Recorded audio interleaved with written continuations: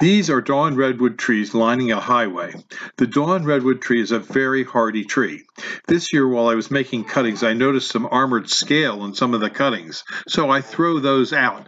What we will do with the are the redwoods that are in our tree farm, we will spray them with a product called Safari. Safari is a very effective pesticide that we use on trees. It's necessary for us to use some pesticides. We don't like to use pesticides, but sometimes it's imperative for the health of trees. The Dawn redwood is also very resistant to deer browse and is easy to grow and grows on wet soils as well as dry, well-drained soils. If you need Dawn redwood trees, we have them at Highland Hill Farm.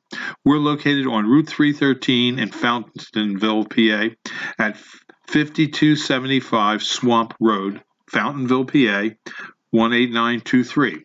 And if you want to call in an order, you can at 215 651 8329. We have seedlings of dawn redwoods, potted dawn redwoods, and dawn redwoods that we dig out of our field.